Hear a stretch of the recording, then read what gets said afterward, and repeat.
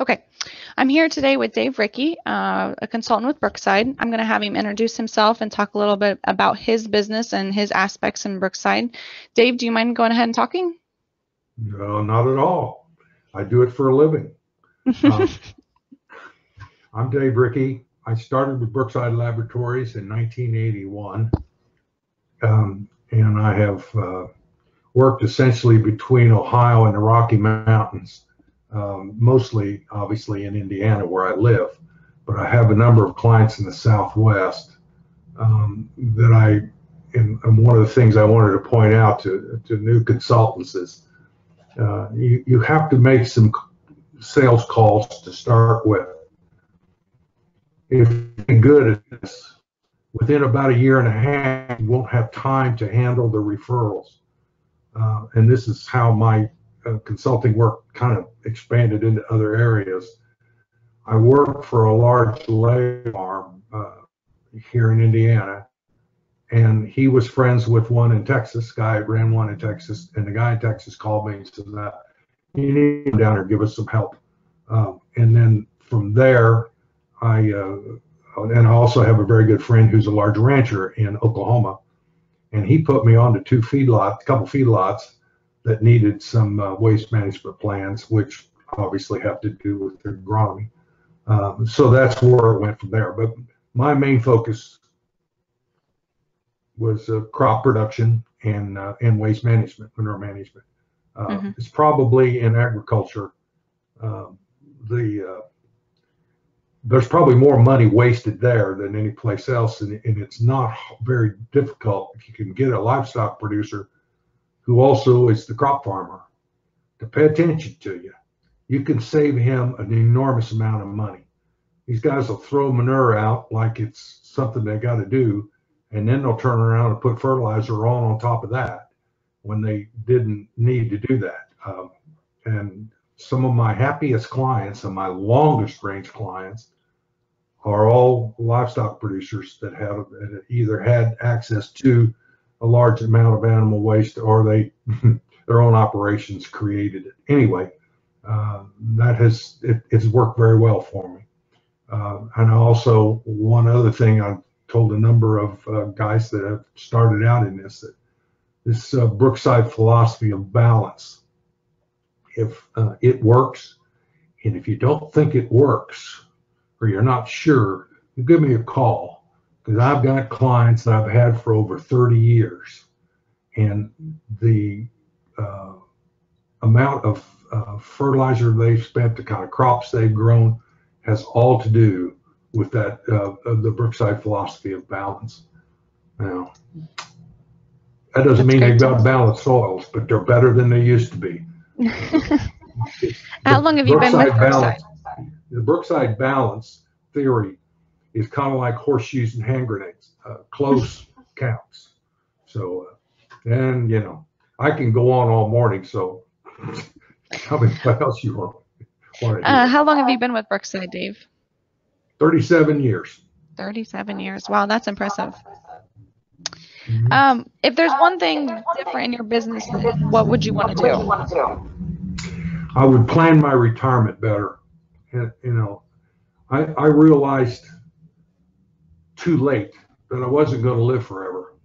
And uh, I did not make, and this is what I think is a tremendous uh, help with the peer groups they're establishing. And, and I think this, the, the mentoring program probably has the same, uh, uh or the, the, mentoring program has the same, uh, same potential to, mm-hmm. Uh, you know, think out years and years in advance and don't don't react to a situation, but plan on it in your business development, that sort of thing.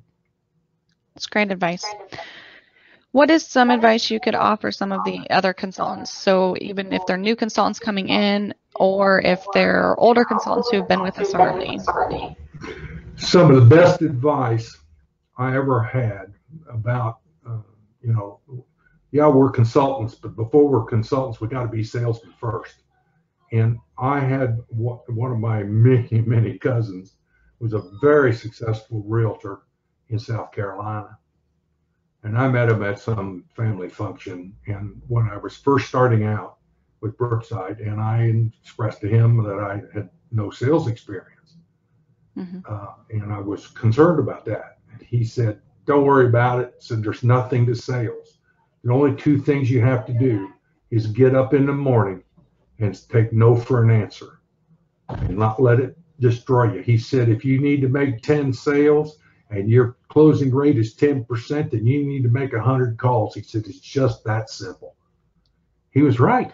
He's absolutely right. Yeah. That's nice to know.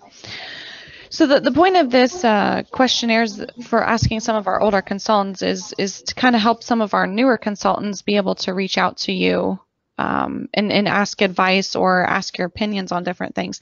Is there anything else that you would like uh, any of our consultants to know? Well, the other thing that you can count on, and one of the one of the comments I've always made when I was talking to a potential client is that you didn't just you're not just hiring me, you're hiring 180 guys, and they're all over the world. And I don't know everything, but I know guys that know everything. So you ask me a question, I'll find somebody that knows the answer to it if I don't know it myself. And I've used this system over and over again. This Yeah. this idea of Brookside Consulting sharing information is unique. And that's one of the reasons why we are thriving. Yeah, you form many connections, that's for sure. Yes, enormous. Uh, what actually made you become a consultant? I was involved in a very extensive farming operation, but I have four daughters, no sons. I had gone through two back operations and I was looking, I was facing a third one.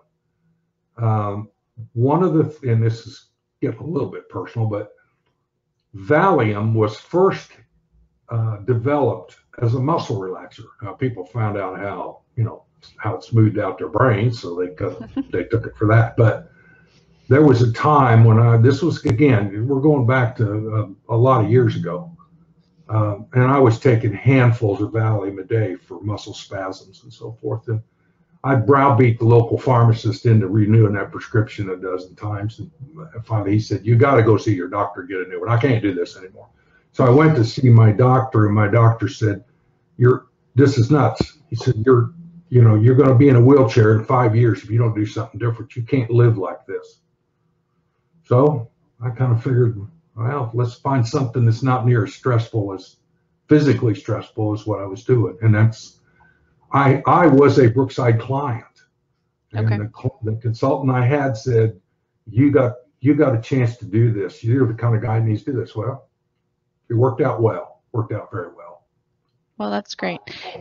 We appreciate you taking the time to talk to us today and give us a little bit of background about yourself.